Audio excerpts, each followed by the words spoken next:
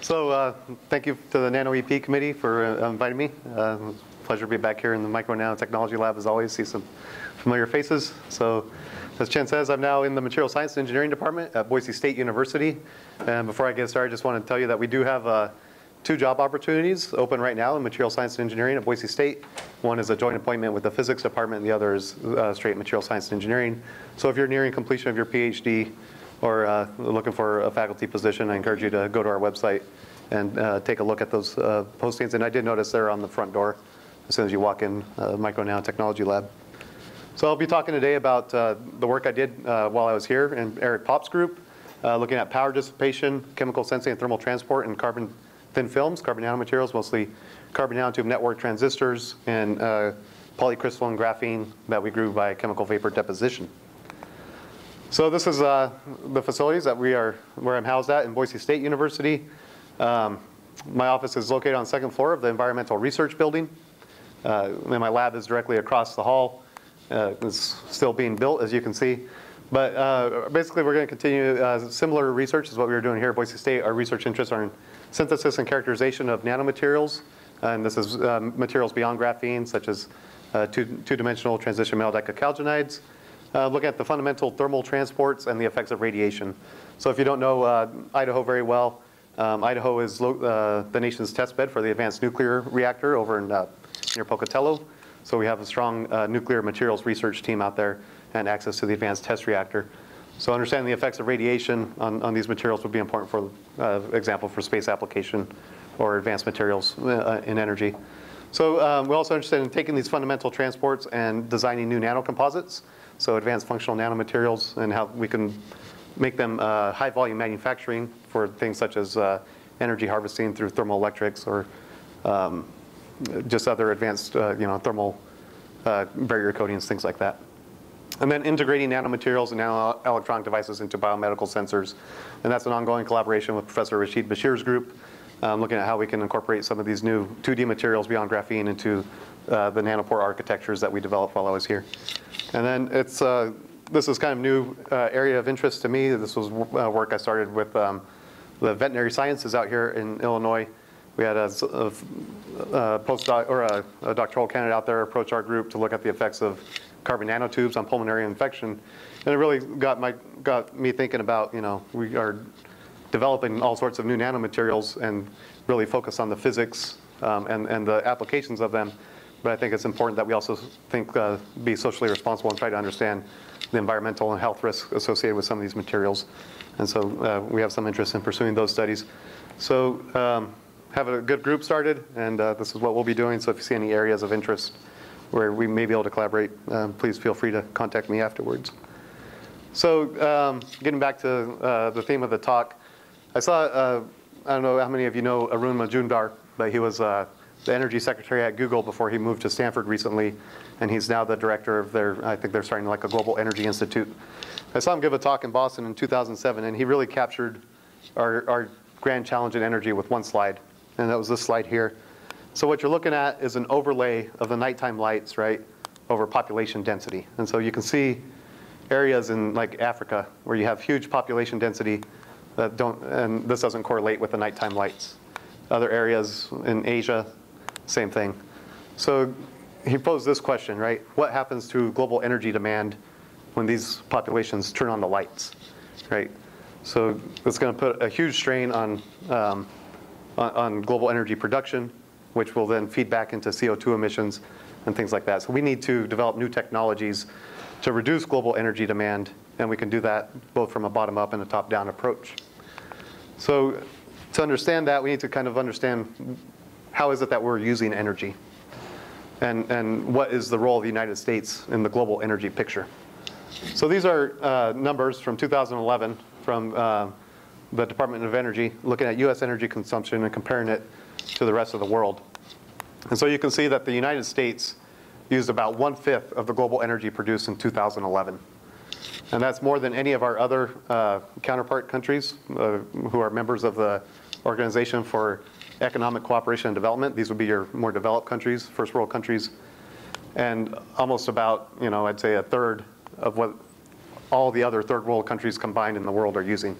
So we are definitely the most energy hung- hungry country per capita in the world.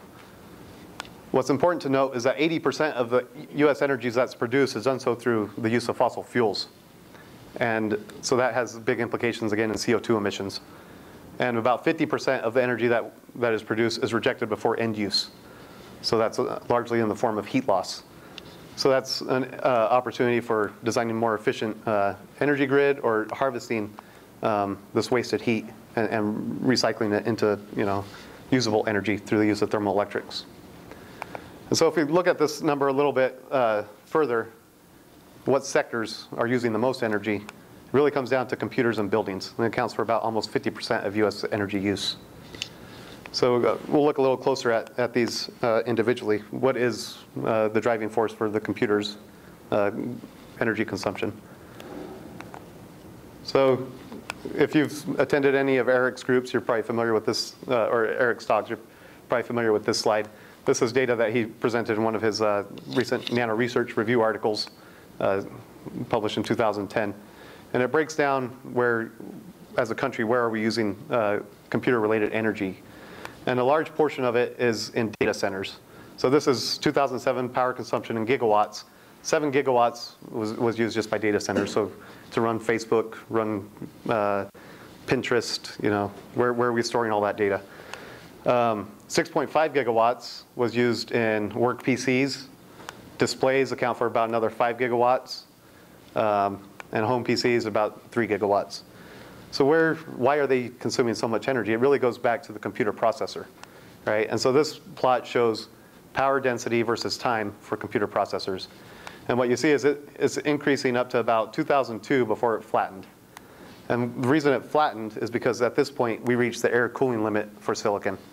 So your computer processor is cooled by convection. You have a large heat sink, the fan on there, and we just can't pull any more heat out of the out of out of the transistor or out of the processor because the transistors are so dense.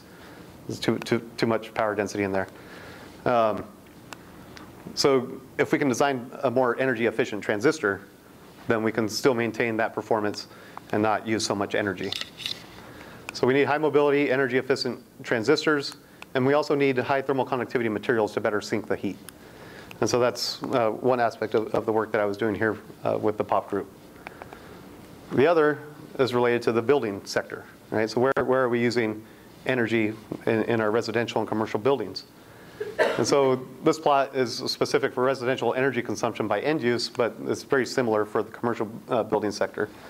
And you can see that 45% of the energy that's being consumed in building sector is due to space heating and, and uh, space cooling, so over 50%.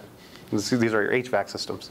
So if we can have a smarter HVAC system and better thermal management at the building scale, then we can have a huge impact on global energy consumption. So just our building sector alone, including commercial, when you go back to the original numbers I showed, can account for up to about 7% of global energy consumption.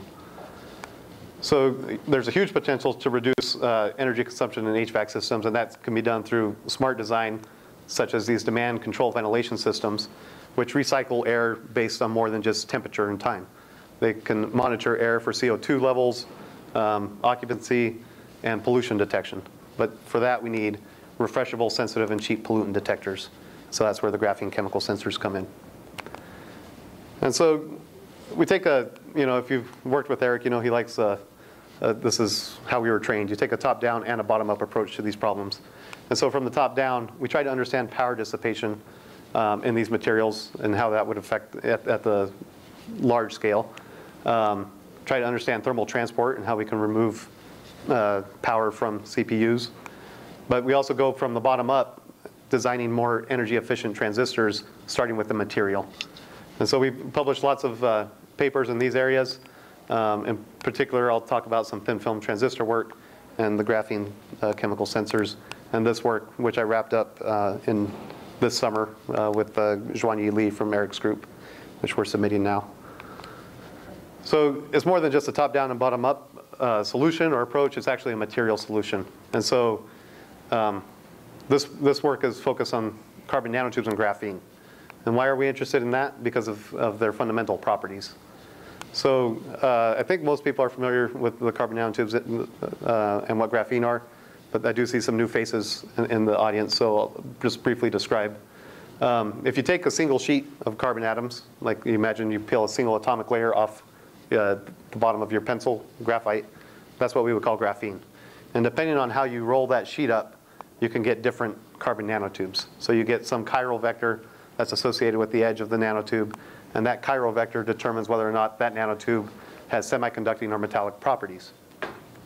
And then, so, you know, graphene has a two-dimensional uh, dispersion. If you take and a slice through this uh, uh, dispersion, or I guess it would be at the drop at the Dirac point, if you take a single slice by confining down to one single nanotube, you get the nanotube uh, dispersion. And if you can open up, split these bands, then you can get the band gap uh, and get a semiconductor nanotube based on that chiral vector. So anyway, uh, these, these materials have excellent electrical and thermal properties, which implies that they have low power dissipation. Right? They have a symmetric energy band structure, so you have equal hole, equal electron mobility. Right? So you, that's important for circuit designers when you start talking about real estate. If your PMOS uh, has twice uh, or, or, two times less mobility than the, the, the NMOS, then you need twice uh, as large PMOS to get the same uh, drive current, right? So these materials uh, have the equal uh, mobility, so that, that's important for, uh, from that aspect. And it's 10 to 100 times higher than silicon, so that implies just less scattering. Um, so high mobility means uh, greater current at the same applied electric field. Uh, these materials have a large optical phonon energy. It's uh, about three times greater than the optical phonon energy in silicon. It means the electrons have to reach much three times higher energy before they can scatter with the optical phonons and lose, lose energy in the form of heat that way. We have strong sigma bonds uh, in plane, so that implies high thermal conductivity. Thermal conductivity can be about as high as 20 times that of silicon for freely suspended uh, graphene or nanotubes. And they have gate tuning of the carrier density, which means that you can actually tune how these things dissipate power. So uh, we started the growth here in the Micro Nanotechnology uh, Lab back in 2007. Albert Liao, of, Dr. Albert Liao, if any of you remember him, uh, really led our nanotube growth effort. And then a couple years later, uh, working with Josh Wood over in the Lyding group, we were able to establish uh, CVD growth of polycrystalline graphene. So this is done in the Atomate furnace in, in the Micro Nanotechnology clean room, lab clean room. And we grow graphene directly on copper foil um, for at 1,000 degrees Celsius. We flow in methane, hydrogen, and, uh, during the growth. The hydrogen breaks apart the methane molecule, and because copper has a really low solubility for carbon, it's almost a self-limiting process where you get just the monolayer graphene on the surface. Um, we can then uh, take that graphene and transfer it to arbitrary substrates. Um, this is what it looks like directly on the copper. So you can see you get these different crystal domains of the graphene. And they can, uh, if you leave the, depending on the growth condition, and growth time, they'll coalesce into a single uh, large-scale graphene film. And so uh, our transfer process is kind of summarized here, if you can see it. So this is shown for like uh, just like a demonstration that we can grow on a 100 millimeter size um, graph, or copper foil. We can coat one side of that with a uh, resist, such as PMMA, and then put that in oxygen plasma to remove the graphene that's on the backside of the copper foil and just transfer that over to a series of rinses, um, such as uh, you know HCl to help remove some of the metal nanoparticles, and then DI water, and then eventually onto a, a receiving substrate. And so that's shown here for like our CVD um, graphene chemiresistors. But then we need to remove the PMMA. Um, so we do that in uh, some solvents, such as uh, acetone or methylene chloride and methanol. And then we can anneal in argon and hydrogen to remove any residues that are uh, remnant on the surface of the graphene. And so that, that's still an ongoing area of research. How do we get atomically clean graphene? Um, uh, even, you know, even this anneal step doesn't completely remove all the PMMA residues. Um, so with that background on the carbon nanomaterials and, and our growth process, I'll go now into some of the more specific projects that we were able to use these materials for. And I'll start by talking about these carbon nanotube thin film transistors. So if, uh, if you're not familiar with these network transistors, um, th this image, uh, this is from John Rogers' group, kind of shows what the carbon nanotube network is. It's just like a random uh, distribution of uh, metallic and semiconducting nanotubes. And you can imagine if you had this plate of spaghetti just threw on the floor, nanotubes go every which way direction, right? It's just this, this web of nanotubes. And so uh, Professor Rogers' group in 2008 uh, showed that if you can control the dimension of these networks, you can remove enough metallic pathways within the network to get a high on-off ratio transistor. And um, these transistors, while they're not, you know, they don't exhibit the high mobility of a single nanotube, they still um, have high enough mobility for thin film transistor applications. And he went on to show that in this integrated circuit on a flexible substrate. Um, this is work from our collaborators in Japan and uh, uh, Finland. They went on and published uh, another paper in 2011 showing how these network transistors compare, um, how they can use their growth methods to make high performance carbon nanotube thin film transistors. And so their nanotube network transistors are all these red stars, right? And that's compared to what the commercial technology for thin film transistors typically is, such as organic thin film transistors or amorphous silicon. And you can see that the mobilities are on the order of 10 centimeters squared per volt second, and some of them approach 100 centimeters squared per volt second, uh, approaching the mobility and on-off ratio of polysilicon. And so it's uh, just having just this random growth looks promising for these applications, uh, but up to this point, the low thermal conductivity of these substrates, no one had investigated how that might affect the device uh, performance through either self-heating or reliability. And so we went aimed to look at that aspect of, of, of these type of transistors. Um, and we used infrared microscopy and an electrical breakdown technique um, to investigate the power dissipation in these type of devices. So what happens to them when you run them at high fields. So we uh, were using the QFI infrascope microthermal uh, imager. That's the one over here in the uh, device characterization lab that you all have access to. Um, we used the 15x objective when we were imaging these devices which gives us a spatial resolution of about 3 microns and a temperature resolution of about 0.1 Kelvin.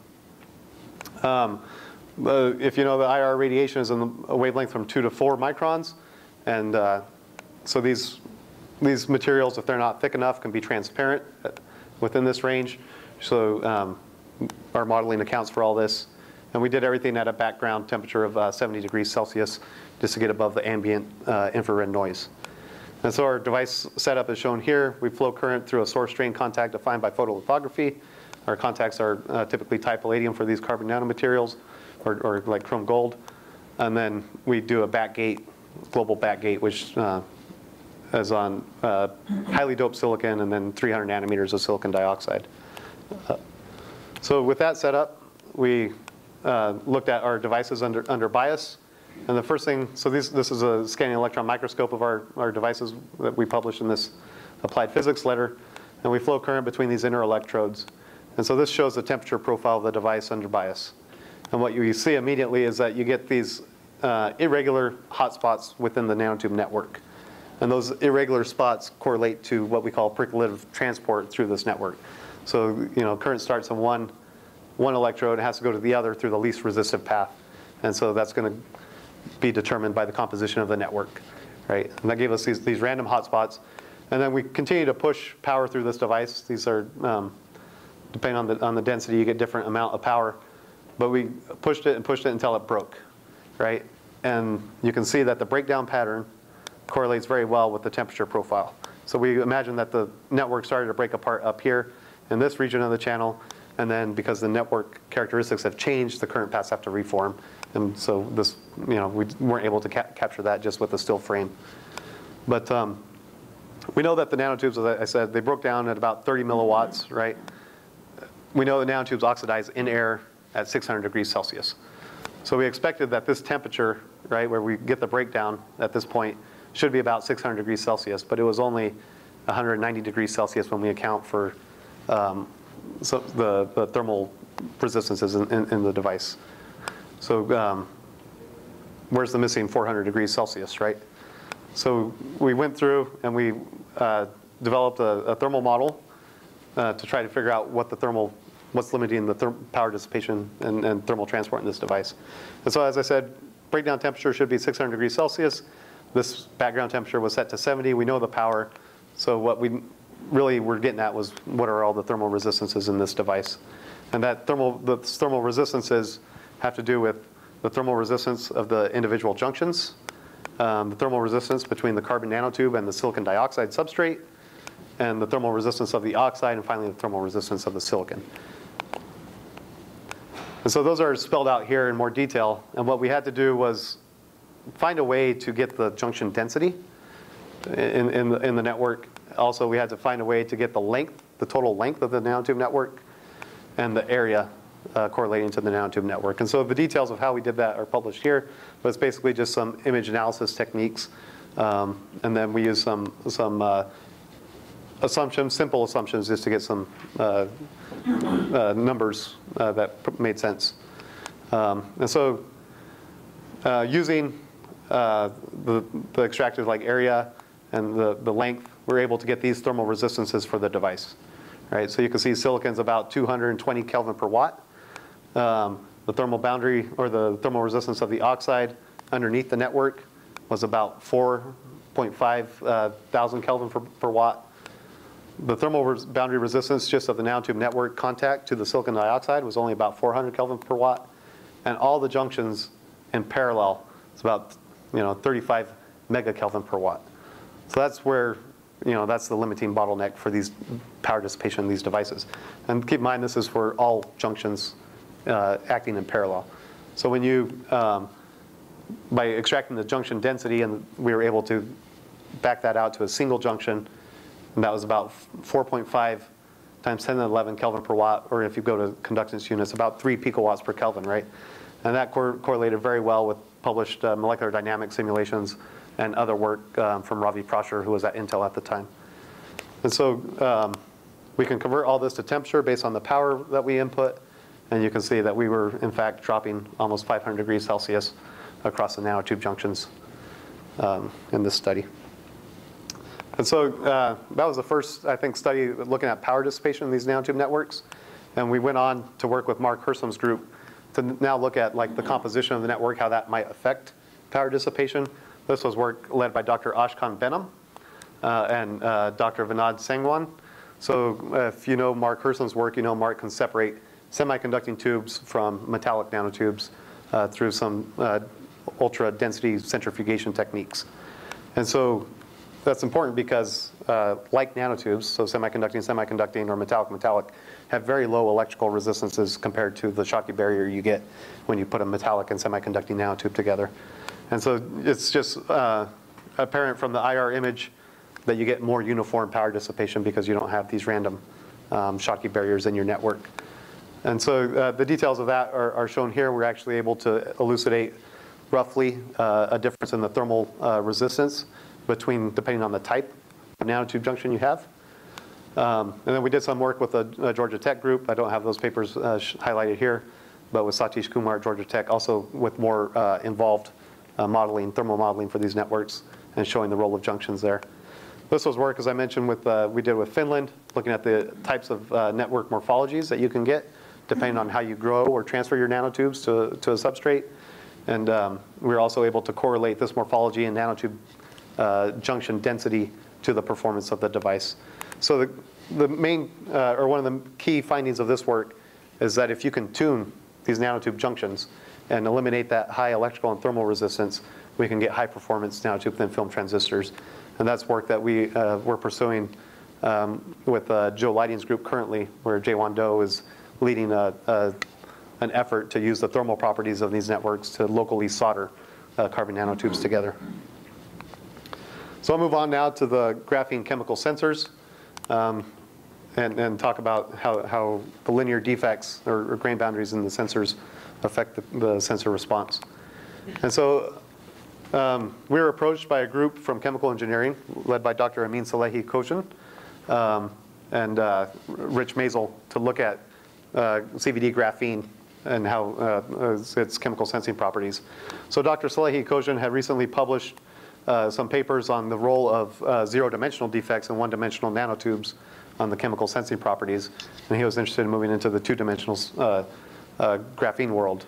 And, and the reason being that other groups had published chemical sensing papers on graphene, but they had not yet been able to beat carbon nanotube chemical sensors.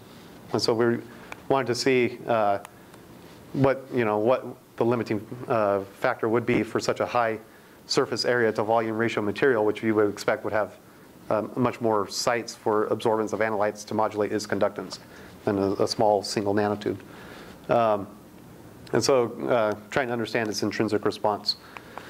So as I mentioned, we grow our graphene by chemical uh, vapor deposition, and it's inherently defective when you grow it that way if it's um, just a random nucleation on the copper foil. And so this is Raman spectra, typical of what we see for an exfoliated monocrystalline graphene flake and CVD graphene, which when you do the Raman on, on uh, CVD graphene, you break the in-plane uh, symmetry modes for vibration, which gives rise to this D peak. And so using this D peak and this uh, G peak, you can back out kind of the size of the crystal domain um, for your graphene growth. You can also back out from the uh, this 2D peak and the G peak the stacking numbers, how many layers of graphene you have. And so you can see from our growth, we typically have a mix of roughly bilayer and monolayer graphene. This was our early growth. Um, and our crystallite size was around 80 nanometers um, between linear defects. So I say linear defects because we weren't able to isolate a single graphene grain boundary. When I say linear defect, we're including these wrinkles in the graphene and as well as uh, layer number mismatch. So you have these monolayer domains where they come together with a bilayer. You have a linear defect at that point too. And so can we use these linear defects to enhance the chemical sensitivity? And so this, this is a sensor response to trace gas vapors. We use both an electron donor and electron acceptor uh, uh, gas vapor. Um, and we compare that to monocrystalline graphene. These are devices made by Dr. Myung Ho Bae, um, E-beam uh, fabricated. And we compare that to large area uh, CVD graphene films and then to CVD graphene films, which we pattern into micro ribbons. And so you can see that the pristine graphene gives us no response in um, both for the electron donor, electron acceptor case. The large uh, polycrystalline graphene films give us a, a, high modulation in the conductance of the, of the resistor, of the graphene resistor. And then when we further confine the current flow, we get even, even much larger, like twice, um, a, a further enhancement of like two times or three times the response by going to the micro ribbons. and so we also do this as a function of applied voltage and compared to the carbon nanotubes. And you can see in both cases that the micro ribbon, graphene micro ribbons, can beat the performance of carbon nanotube simple chemi resistors. And so to understand that, we uh, got the help of uh, Feng Xiong from our group to do some COMSOL modeling. And what he did in, in his modeling was introduce a bunch of point defects within the graphene film and look at how current flows and what the electric field distribution is within the film. And so these streamlines represent the current flow. And you can see if you just have a lot of point defects in a, or zero dimensional defects in a 2D system, there's still really low resistance paths around the defect. And if an analyte sits at the defect, it's not going to really perturb the current flow of the sensor. However, if you have one dimensional defects in a two dimensional system, you get large enhancements of the electric field at those defects, and you can start to see some uh, perturbation of the current flow through the film. And if you further confine it down to a microribbon, you get even further enhancement of the electric field and further confinement of the current through the film. And so if you get a gas molecules sitting at these defects, they have a much greater chance of modulating the conductance of the device. So that's what we uh, attributed our sensing mechanism to, is these linear defects in, in CVD graphene, which gave us a higher performance in the nanotubes. And so uh, I know Dr. Amin Salehi is continuing some of the work looking at specific grain boundary sites um, and, and, the chemical sensitivity of isolated grain boundaries in, CVD graphene. But there are other ways of obtaining graphene. I mentioned mechanical exfoliation and e-beam. So if you want to understand, you know, pristine uh, graphene and how it interacts, you can use these monocrystalline flakes obtained by the Scotch tape method. And another high volume manufacturing technique is you start with uh, bulk graphite powders, do some sonication and centrifugation, you can then vacuum filtration. You'll get these randomly stacked uh, small graphene flakes, few layered to monolayer graphene, and um, on, on a filter paper, and you can transfer those as well. And so we looked at chemical sensing properties of these type of graphene films. Um, in particular, the, for the solvent exfoliated flakes, we were able to correlate this uh, edge defect or closed contour defect, which surrounds the entire flake. It's induced by the sonication method and the density of flakes to the sensing response. We were able to beat our CVD graphene uh, sensor response with this type of uh, graphene flake. And then we used the monocrystalline graphene and looked at the gate tunability of uh, the, these graphene sensors, and uh, the role of the substrate and the, any dangling bonds in the substrate on the um, chemical sensitivity of, of, graphene. And so that those results are published in these two papers here. Okay, so um, we understood now the, the role of linear defects and defects in general on chemical sensing of, uh, uh, of graphene films. Now we wanted to understand the, the role of uh, linear defects in thermal transport of the graphene films. And so to do that, I designed this uh, suspended thermometry platform uh, and fabrication process with a lot of help from a lot of groups around campus. This was quite the effort to get this thing to really work. Um, and Bill King's group was uh, very, uh, uh, I would say, essential to getting, showing me their MEMS fabrication techniques to get this to work. Um, and so we use this platform to, to study the, the thermal properties of graphene. So um, I mentioned the, the, linear defects. This is uh, work that came out of uh, Cornell, showing what these look like in CVD graphene. Get these meandering uh, type of defects. You can get these very well-ordered types of defects. Um, and, and, we did work with Joe Lyding's group looking at the, the role of these defects on electrical transport. You can see the electron wave bouncing off, the, you know, you get scattering at these defects. Uh, and then Andrei Serov from our group did uh, simulations showing how these defects affect thermal transport, but we hadn't uh, had a, a, a, study yet, an experimental study on, on the role of these defects on thermal transport. So this is data up to, up to now on what was known um, below room temperature for CVD graphene on a substrate, right? So if we're going to use this as a thermal heat spreader, it's going to be on a substrate. So you can see, all right, so this is graphite in plane thermal conductivity. This is you know reference data from 1972. Um, suspended graphene, was, uh, which was published in 2012. Uh, but this is using a Raman technique to get this data, so this is all above room temperature. And then uh, Myung-ho, Dr. Myung-ho Bae and, and Zhuanyi Li recently published earlier this year um, a, a crossover from ballistic to diffusive thermal transport in graphene nanoribbons. And the one data point that's out there for CVD supported graphene um, it's published by a UT Austin group, and that's at room temperature and above. Um, has huge error bars, right?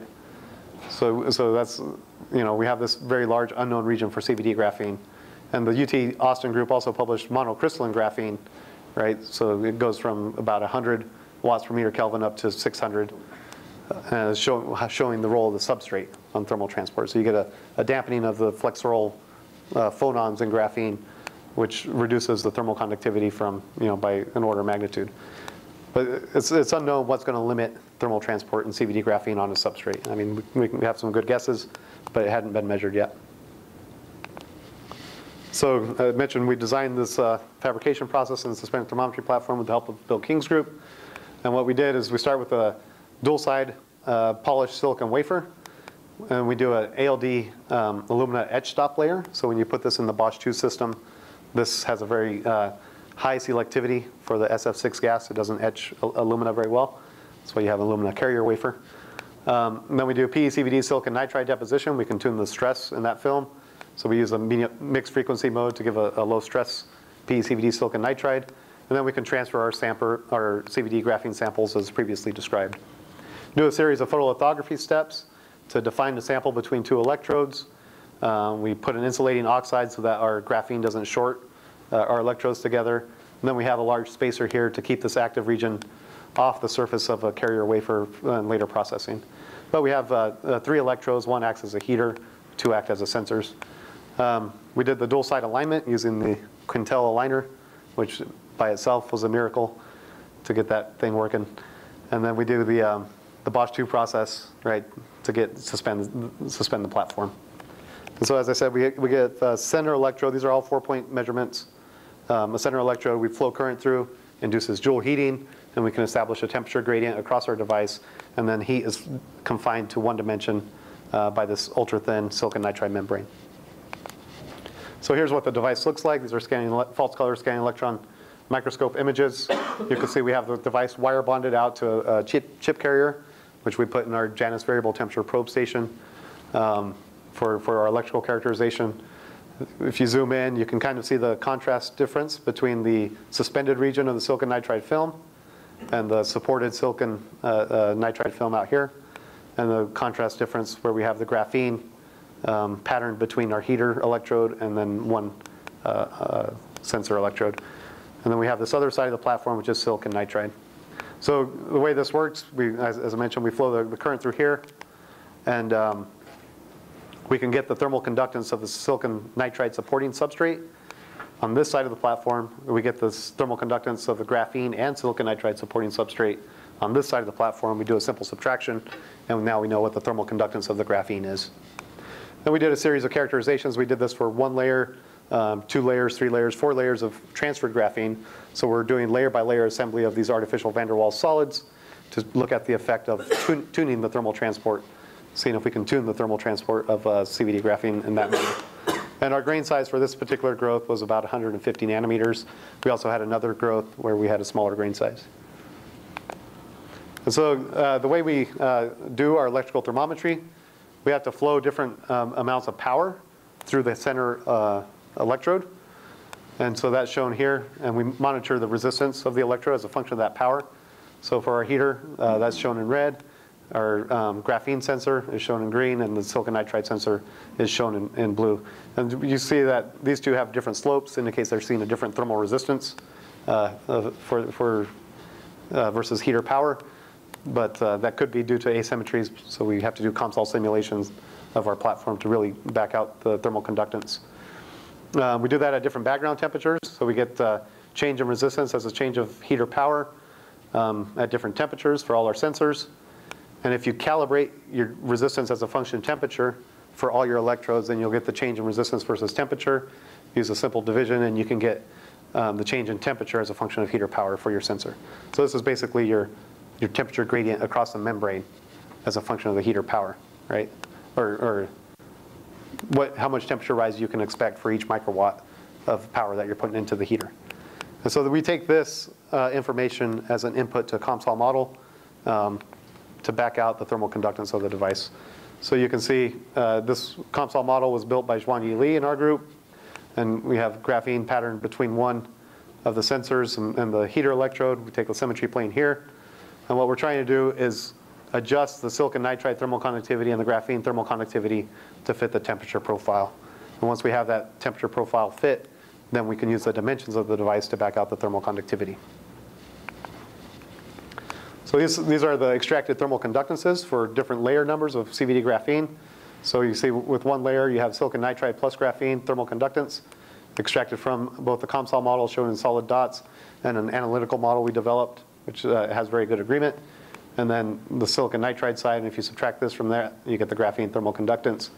And you can see that for all the way up to four layers. And so the thermal conductance is obviously tunable by the number of transfers because you have more cross-sectional area for heat flow. Um, but when we go to thermal conductivity, we divide all those dimensions out, you can see uh, in this plot down here, see that we weren't able to enhance the thermal conductivity with up to four layers of CVD graphene transferred on top of each other. And so um, what this tells us, this is compared to monocrystalline exfoliated uh, um, graphene from the UT Austin group. It tells us that we're limited by the supporting substrate, but also by the grain boundaries. And so that, um, you can see that here, these solid lines are uh, Andrei Serov's simulations uh, for different grain sizes, different grain domains of uh, CVD graphene. Um, and this is our data here for the 140 nanometer grain and also for like an 80 nanometer CVD graphene grain. And it agrees very well with Andre's uh, simulations and tells us that uh, we are in fact limited by the grain boundary size as well as the substrate. And so now we've filled in that picture here. You can see that our CVD graphene at lower temperature agrees fairly well with the UT Austin data, and then we get some difference of about 30% thermal conductivity at the higher room temperatures for CVD graphene. But we, uh, we didn't stop there. We went on. We had these stacks. We were able to make them, so we went to uh, David Cahill's group so that we could try to understand the thermal anisotropy in these layer by layer assembled solids.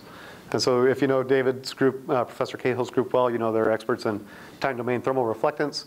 I don't know all the details of how this works. We were doing this with uh, Gyuming Choi. So he collected all this data, but this is the basic signal you get out. Um, it's a, a, ratio of the um, voltages for the in phase and out of phase TDTR signal. Um, But you basically can see that you have one layer of graphene, and 10 layers, there's a huge difference in the signal. So that, that from this information, you can get the thermal conductance. And um, that's shown compared to exfoliated graphene. This was work by uh, Ko, Dr. Yikon Ko and Dr. Myung Ho Bae uh, for uh, exfoliated graphene from one layer all the way up to 10 layers. And when we do layer by layer assembly of CVD graphene up to this 10 layers, we can get like two times less thermal conductance in the cross-plane direction. And so we attributed that to uh, random stacking of more than you know uh, 10 layers because we have a mix of bilayer and uh, uh, monolayer CVD graphene. And um, we also get these trapped particulates from the transfer process, trapped PMMA residues. And so these TEM images highlight that, and these were collected by um, uh, Jim Zuo's group. So we can actually get direct imaging of, of what's limiting thermal transport in the crossplane direction. But this really highlights an important aspect of what we can do now, where we can take different materials and create these different um, uh, single crystal layers, transfer them layer by layer to tune the anisotropy in, in these uh, artificial van der Waals solids. So if you have large mismatch in the Debye temperature between materials, those interface resistances get really large. And so if we can go like a molybdenum dioxide or molybdenum uh, disulfide, graphene molybdenum disulfide layer, we could even further enhance the thermal anisotropy in these type of materials. And so just to summarize, um, we saw that by uh, infrared imaging, we were able to elucidate the limiting role of the nanotube junctions on thermal transport and, and power dissipation in nanotube network thin film transistors, and that the, CV, the nanotube network composition and morphology also have a significant effect on the uh, performance of these devices. In uh, chemical sensitivity of graphene, we show that polycrystalline graphene has high chemical sensitivity, which can be further enhanced by confining current flow through linear defects in, in this 2D system. And that if you can control these defects, you can tune the sensitivity uh, of your chemical sensors. And in thermal transport, these linear defects also play a significant role in limiting thermal transport in CVD graphene. And this layer by layer assembly also gives us a, a way to tune the thermal anisotropy or tune the thermal conductance in plane versus out of plane in these devices. So I'd like to close just by highlighting, you know, a lot of, there's a lot of hype around some of these nanomaterials um, without going all the way to applications. But uh, one area where I really think that uh, graphene is going to have a, a, big impact is in transparent electrodes, and I think that's already getting very close to commercialization if it's not out there already. This is work we showed uh, we did with John Rogers' group, where we were able to use our CVD graphene and do like these multiple transfers to get like four layers of CVD graphene in interconnect, in their serpentine interconnect for flexible um, uh, circuits and flexible LEDs. And uh, so, so you can see that we were able to make these flexible transparent electrodes for, for these electronics.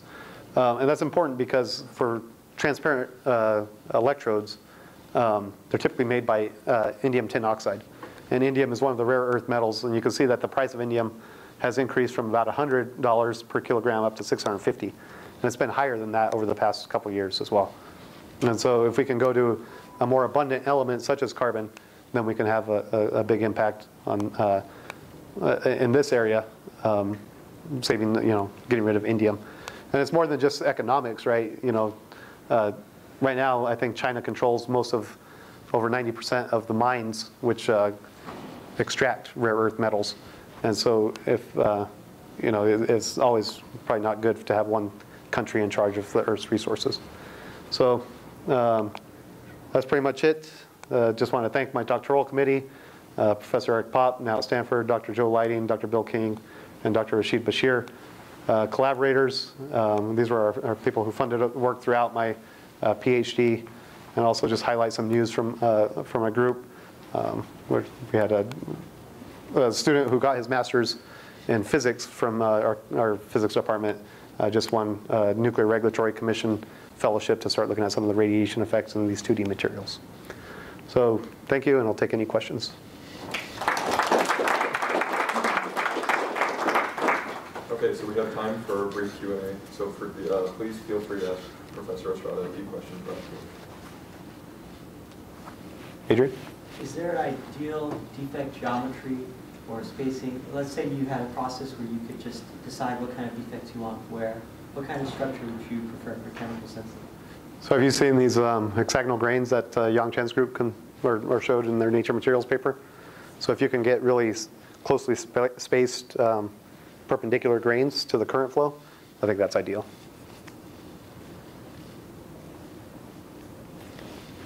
I was curious about the, uh, the random orientation of all the carbon nanotubes uh, on the surface there. Would you expect there to be a better performance if they were all aligned? And if there's any work kind of? Yes, yeah. You do get uh, better performance based on the um, amount of uh, junction or nanotube overlap. And if they're aligned, then you can start to recover, you know, depending on the geom, the length of your source drain electrode, then you can start to get to the single nanotube, right? And so like John Rogers' group, you know, they do the um, perfectly aligned growth on quartz, right? And they've shown a lot of work there, but in that case, one metallic tube kills your device. So you have to find ways to get rid of that. And I think they just published a Nature Nano paper showing a process to remove those uh, metallic tubes.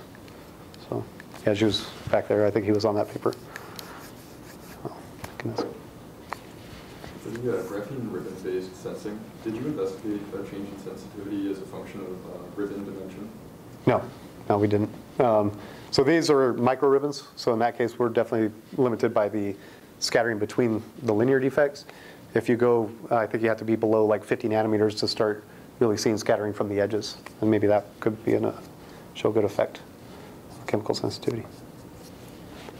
So you mentioned you can uh, do this CVD approach for synthesizing graphene on large scale, like for high volume manufacturing. I'm curious, what's the current state of the art and the size of the starting wafer where you can get a device quality graphene? Ooh, that's a good question. Um, so, I mean, I I what I can say is I've seen millimeter scale single crystal graphene. We're uh, growing at atmospheric pressure, um, but that's still on copper. So if, I guess you have a, a way to put like a 300 millimeter copper wafer and do that kind of growth, then you can get like millimeter sized domains. Um, the other large growth for wafer scale is uh, um, silicon carbide, sublimation of the silicon. But in that case, that has its own uh, problems. I'm not too familiar with that kind of growth technique. But um, Samsung did publish, like, you know, if you don't care so much about the grain size, um, they were uh, doing roll-to-roll production of graphene on 30-inch foils. So for transparent electrodes, that'd be fine. So for the breakdown of the network transistors, uh, we understand the starting point is the hottest part. So what about the rest part? I mean, it's like uh, avalanche effect. Uh, Yeah. starting from one point and then So there's uh, some uh, work uh, that I think we cited in Ashkan's paper, it came out later.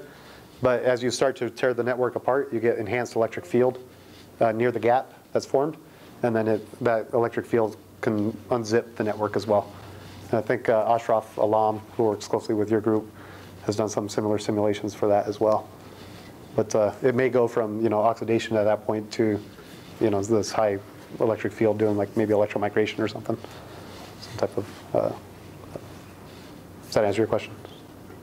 Yeah. I, I just wondering if there's an impossible way to just to observe that propagation of breakdown. If you Maybe can, it's too fast. if you can videotape it fast enough, then yeah, maybe you could. Uh, But uh, I think the frame rate on the IR scope is very slow, so we couldn't do it. Anirudh? What some of the chemicals that you have been able to sense with defects? So we just did the electrical, electron donor, electron acceptor, um, toluene and, and 1,2-dichlorobenzene. I think those are pretty similar, common uh, standards for, for uh, chemical sensing community. Um, and then other chemicals will have, you know, either be an electron donor or electron acceptor. But um, I think DMMP is also used uh, frequently. And I think in the um, solvent exfoliation paper, we use DMMP instead of uh, 1,2-dichlorobenzene. But that's all we looked at. Is it being considered for a broader application? Um, Yeah, any, any, you know, if you have a, a physics-based sensor where you can refresh it, then you don't have to like functionalize for a target analyte. You could just refresh it maybe with, with a high electric pulse, and then you can use it to sense again. But uh, getting the selectivity down, we didn't study uh, selectivity uh, to different chemicals with, with these devices.